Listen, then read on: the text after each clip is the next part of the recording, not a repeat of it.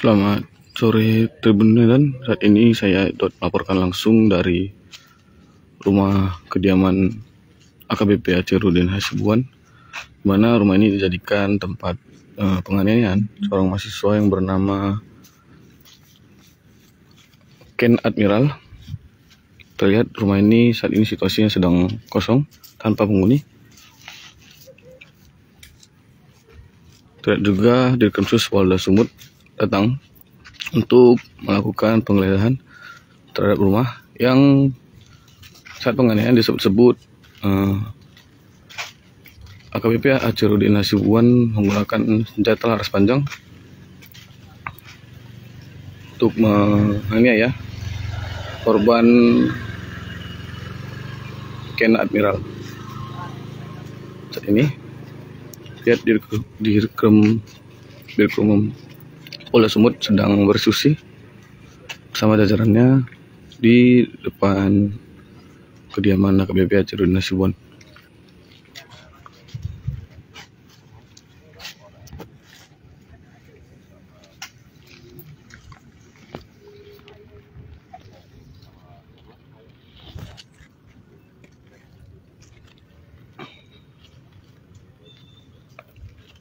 Rumah KBP Acirudin Hasibuan terdapat di Jalan Karya Dalam, Kecamatan Medan Helvetia, Kota Medan.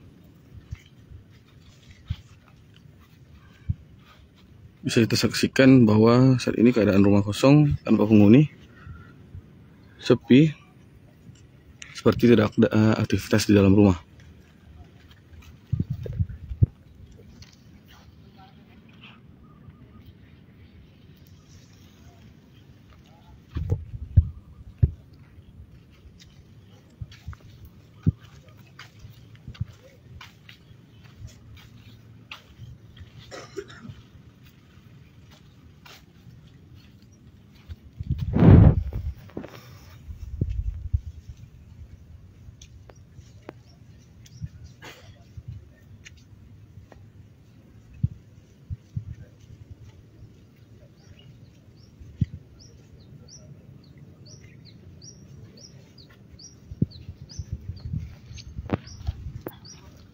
Ada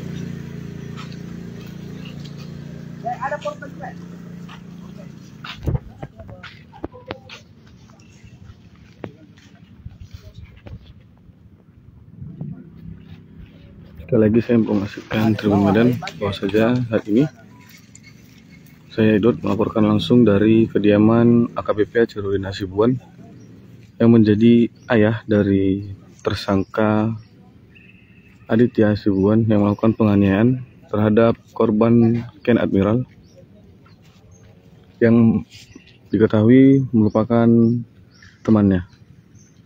Saat ini di Krimum Polda Sumut sedang diskusi untuk melakukan penggeledahan terhadap isi rumah yang disebut-sebut uh, AKBP Acirudin menggunakan senjata laras panjang untuk melakukan penganiayaan terhadap korban Ken Admiral.